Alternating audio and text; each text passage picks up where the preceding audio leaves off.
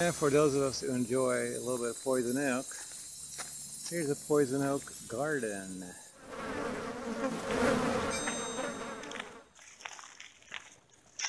Lots of poison oak.